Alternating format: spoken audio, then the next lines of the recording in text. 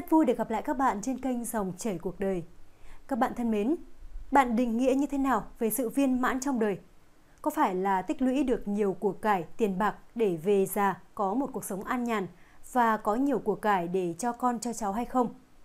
Thực ra, sự viên mãn trong cuộc đời của mỗi người không hẳn chỉ là biết lao đầu vào kiếm được thật nhiều tiền mà còn là cách hưởng thụ xứng đáng những thành quả mà mình làm ra. Tại sao lại nói như vậy? Bạn hãy cùng tìm hiểu trong video clip ngay sau đây nhé. Biết kiếm tiền, giỏi hưởng thụ, sáu chữ nói thì dễ, làm mới khó trong cuộc đời. Muốn trở nên khác biệt với số đông và thành công trong cuộc sống, chúng ta nhất định vừa phải biết kiếm tiền, vừa phải giỏi hưởng thụ. Sống thế nào mới là thành công? Dù thành tựu đạt được cả đời không lớn, số tiền kiếm được không nhiều, vị thế xã hội không cao – nhưng chỉ cần người đó biết sống một cách vui vẻ, hạnh phúc và tự tại, thì đó cũng là một loại thành công của đời người. Nếu một người lúc nào cũng phải liều mạng giành giật, ngày ngày thức khuya tàn phá sức khỏe và cơ thể của mình đến sức cùng lực kiệt mới đạt được thành tựu, thì có đáng hay không? Người thực sự đủ bản lĩnh sẽ phải biết cách kết hợp cả hai khả năng, vừa có thể kiếm tiền, vừa biết cách hưởng thụ, chứ không bao giờ chỉ chọn một trong hai khả năng đầu tiên của một người bản lĩnh biết kiếm tiền. Bất kỳ ai cũng cần biết cách kiếm tiền nếu muốn tồn tại và sống sót trên đời. Đặc biệt là một người đàn ông không thể làm ra vật chất, người đó sẽ không thể đem lại thức ăn nuôi sống gia đình chứ chưa nói đến việc chu cấp một cuộc sống đủ đầy, giàu có. Đồ ăn thức uống, điện máy gia dụng, chi tiêu hàng ngày, chi phí học hành của gia đình và con cái thậm chí thuốc men chạy chữa khi sinh bệnh, tất cả đều cần có tiền để chi trả. Đồng tiền không phải vạn năng, không thể mua được mọi thứ, nhưng không có tiền thì bạn cũng chẳng thể mua được cái gì, cho dù là một hạt gạo hay một cọng rau. Nhiều người cho rằng tiền bạc là vật ngoài thân, nhưng chính đồng tiền ấy mới mang lại cuộc sống tốt đẹp cho chúng ta.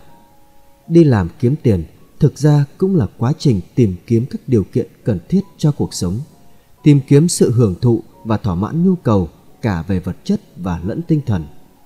Do đó, biết cách kiếm tiền là một kỹ năng cần có để người nắm giữ kinh tế gia đình, xây dựng nền tảng hạnh phúc cho chính bản thân và người thân xung quanh. Bất kể là ai trên đời, chúng ta đều phải biết cách kiếm tiền. Chỉ có biết cách kiếm tiền và kiếm ra tiền, đó mới là một phần bản lĩnh của người thành công. Nếu một người thực sự biết cách kiếm tiền cho dù công việc của anh ta đơn giản đến thế nào, người đó vẫn có thể trở thành chuyên gia trong lĩnh vực ấy, gặt hái được rất nhiều thành tựu và tiền bạc. Như vậy, anh ta không chỉ tài năng mà còn có bản lĩnh kiếm tiền rất giỏi. Anh ta không chỉ hiểu được khả năng của mình mà còn biết tận dụng, mài rũa và nắm bắt thời cơ để trở nên nổi bật, rồi dùng chính khả năng ấy để kiếm tiền một cách dễ dàng. Đây chính là việc mà người bản lĩnh nên làm khả năng thứ hai của một người bản lĩnh, giỏi hưởng thụ. Người bản lĩnh và thành công không bao giờ chỉ chăm chăm kiếm tiền mà không biết cách tận hưởng cuộc sống của riêng mình. Không chỉ tranh thủ thời gian kiếm tiền, họ còn dành ra cho mình những lúc rảnh rỗi, hưởng thụ không gian riêng, giải quyết những vấn đề riêng, tận hưởng đời sống riêng. Muốn xem một người có đủ lợi hại hay không, phải nhìn cách anh ta kết hợp hai khả năng là kiếm tiền và hưởng thụ như thế nào.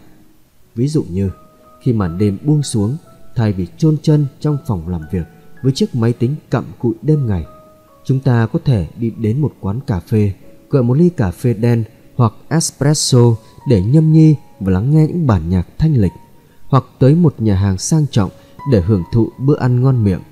Hãy để tâm trạng của bạn bình tĩnh lại, để bộ não thả lỏng, nghỉ ngơi khi thế giới xung quanh trở nên lãng mạn và tự do. Tương tự như vậy, nếu đã có gia đình, chúng ta rời bỏ bàn làm việc và hàng tá giấy tờ số liệu đằng sau để trở về với gia đình ấm áp. Ở đó, chúng ta có thể nghỉ ngơi thỏa thích, có thể thư giãn đọc sách, uống trà, vui vẻ ở bên những người thân yêu, cha mẹ, con cái, cùng gia đình đi ăn, xem tivi. Nếu biết điều hòa nhịp sống như vậy, bạn mới là người thực sự bản lĩnh. Tuy rằng những điều này nhìn có vẻ rất bình thường và nhạt nhẽo nhưng không phải ai cũng có đủ khả năng để làm được như vậy người biết cách thay đổi từ trạng thái làm việc sang trạng thái nghỉ ngơi mới thực sự tài giỏi. Dù sao, cần có tố chất tâm lý nhất định và định lực kiểm soát cao để có thể kết hợp hài hòa và khả năng kiếm tiền và khả năng hưởng thụ như vậy. Biết kiếm tiền, giỏi hưởng thụ. Nếu bạn thực hiện được 6 chữ nói thì dễ mà làm rất khó ấy, bạn thực sự là một người mạnh mẽ và bản lĩnh. Rất nhiều người xung quanh hoặc là không biết kiếm tiền, chỉ biết hưởng thụ, hoặc là chỉ biết kiếm tiền mà không biết hưởng thụ, chứ chẳng mấy ai kết hợp được hai điều ấy lại với nhau một cách trọn vẹn hài hòa. Chỉ khi nào làm được cả hai khả năng ấy, bạn mới thực sự thành công và có thể tận hưởng cuộc sống của mình.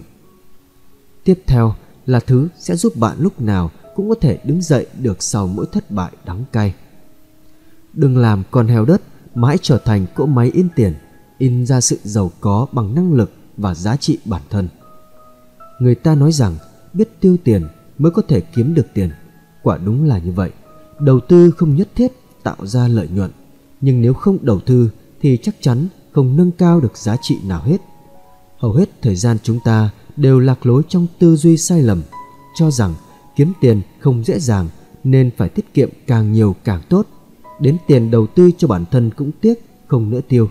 Kết quả là đầu óc trống rỗng thì túi ví cũng rỗng luôn. Chỉ khi nào bạn có giá trị đầy người, giàu có mới đến một cách tự nhiên. Rất nhiều người dùng cả đời để theo đuổi hai mục tiêu. Một là giàu tiền bạc, hai là giàu giá trị. Nếu may mắn sinh ra trong một gia đình giàu có, ngậm thìa vàng trong miệng từ khi vừa ra đời thì tiền bạc không phải là vấn đề, nhưng tiền chưa đủ để giải quyết vấn đề thứ hai. Chỉ có sự thể hiện tài năng và bản lĩnh trong công việc, trong đời sống mới có thể quyết định giá trị cá nhân của chính mình. Giàu tiền bạc và giàu giá trị là hai khái niệm hoàn toàn khác nhau. Người có tiền chưa chắc đã là người có giá. Chẳng hạn như cậu con cưng quý tử của nhà đại gia nào đó có rất nhiều tiền để tiêu, nhưng ngoài việc chi tiêu phung phí số tiền người bố đại gia cho mình thì chẳng làm nổi chuyện gì khác. Vậy thì giá trị của cậu ta còn không đáng một đồng. Ngược lại thì khác, người có giá trị thì sớm hay muộn cũng sẽ có tiền trong tay. Bởi vì muốn có giá trị, họ phải có tài năng và bản lĩnh đáng tự hào nào đó. Và với khả năng ấy, chắc chắn họ có thể tồn tại trong mọi cuộc cạnh tranh, đứng vững giữa những khó khăn chắc trở và dần dần tích lũy được tiền tài. Lại lấy ví dụ như một họa sĩ đã thành danh nổi tiếng khắp nơi. Cho dù bây giờ chẳng có đồng nào trong ví thì chỉ cần anh ta ngủi vẽ một bức tranh thôi. Mấy ngày sau, bán đi đã kiếm được bộn tiền. Chính vì thế, như mọi người thường nói, chúng ta đừng tự biến mình thành một con heo đất chỉ biết tiết kiệm từng đồng tiền lẻ. Trên đời này, có được mấy người có thể trở nên thực sự giàu có chỉ dựa vào việc tiết kiệm tiền đâu. Thay vào đó, sao không biến mình thành một cỗ máy in tiền bằng một nguồn mực vô hạn, chính là năng lực của bản thân. Nếu phải chọn giữa giàu tiền bạc và giàu giá trị, đừng ngần ngại lựa chọn điều thứ hai. Chỉ có nhân tài đáng giá mới hiểu được cảm giác thành công và mạnh mẽ. Đối với một người muốn theo đuổi ý nghĩa của cuộc sống, loại cảm giác ấy là một nhân tố không thể thiếu để đạt được sự thỏa mãn từ sâu trong lòng. Cảm giác thành công đến từ đâu? Nó hình thành từ việc hưởng thụ kết quả tốt đẹp đã đạt được sau khi bản thân tự nỗ lực và làm việc chăm chỉ. Lợi ích thu được càng lớn, cảm giác thành công càng mạnh mẽ hơn. Nếu sự giàu có về vật chất của một người đến từ tay cha mẹ, anh ta sẽ không bao giờ thấy thỏa mãn cho dù có bao nhiêu tiền trong tay. Tuy nhiên, nếu từng đồng tiền trong đó là do anh tự mình kiếm được, thì dù kiếm được bao nhiêu, anh đều nhận được cảm giác thành công và thỏa mãn. Đây chính là một trong những nền tảng quan trọng để đạt được hạnh phúc. Không đạt được mức độ thỏa mãn nhất định, sự hạnh phúc của anh sẽ bị giới hạn và ảnh hưởng rất nhiều. Quá trình nâng cao giá trị của bản thân để trở thành người giàu có từ trong nội tại chính là quá trình mỗi chúng ta nỗ lực liên tục đầu tư vào chính mình. Khi bạn chưa có giá trị, bạn phải nhờ và người khác. Khi bạn đã có giá trị rồi, người khác sẽ phải nhờ vào bạn. Không phải nhờ vả vì quyền lực mà vì khả năng của chính bạn. Đây chính là kết quả của sự thay đổi giá trị, cũng là kế hoạch biến đổi từ lượng đến chất của giá trị cá nhân mỗi người. Hãy nhớ rằng người có tiền chưa chắc đã có giá trị, mà người có giá trị thì nhất định sẽ có tiền. Tiền bạc và giá trị có thể coi là hai nhân tố của một mối quan hệ biện chứng. Tiền bạc là thứ tồn tại tạm thời và có thể mất đi bất cứ lúc nào. Nhưng giá trị sẽ là nền tảng căn bản không bao giờ mất đi. Có giá trị đầy người thì bất cứ lúc nào chúng ta cũng có đủ sức đứng lên từ những lần vấp ngã. Chính vì vậy, phải không ngừng nỗ lực để làm phong phú nội hàm và nâng cao giá trị bản thân, phát triển năng lực, trao dồi bản lĩnh. Chỉ có như vậy, chúng ta mới nắm trong tay gốc rễ của thành công và sự giàu có thật sự. Bạn thân mến, tiền bạc chưa bao giờ là tất cả. Những người sống tôn thờ tiền bạc mà bỏ qua tất cả các giá trị đạo đức khác thường không cảm thấy an nhiên và thanh thản, đặc biệt là khi về già. Đừng chỉ chăm chú vào tích trữ tiền bạc mà quên trau dồi nhân cách đạo đức của bản thân mình để có thể nâng cao giá trị của bản thân cũng như thu hút tài vận và phúc báo bạn nhé. Để theo dõi thêm các video clip mới được phát hành hàng ngày trên kênh Dòng chảy cuộc đời, các bạn đừng quên nhấn đăng ký kênh và bấm vào biểu tượng chiếc chuông nhỏ bên cạnh nút đăng ký nhé. Còn bây giờ, hẹn gặp lại các bạn trong những video clip tiếp theo.